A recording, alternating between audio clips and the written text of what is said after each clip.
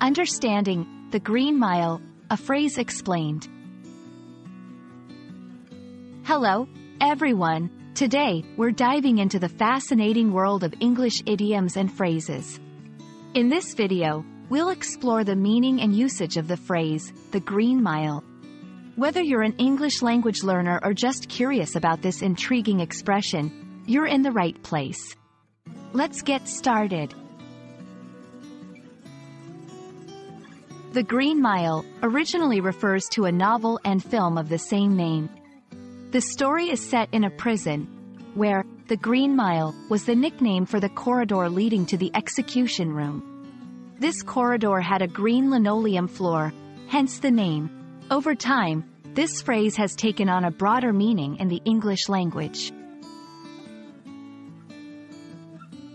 In modern context, the Green Mile is often used metaphorically to describe a difficult or challenging journey, especially one that leads to an inevitable and possibly unpleasant outcome. It conveys a sense of a heavy-hearted progression towards something significant or final. To help you understand better, let's look at some examples. 1. Facing the board of directors felt like walking the green mile, I knew difficult decisions awaited me.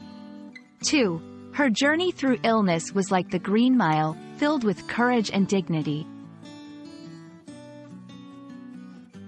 This phrase also holds a cultural significance, often evoking emotional responses.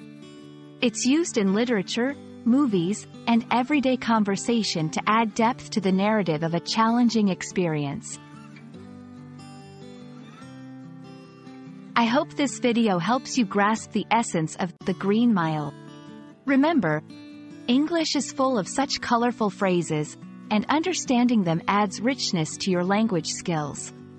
Thank you for watching, and I look forward to exploring more fascinating phrases with you in our next video.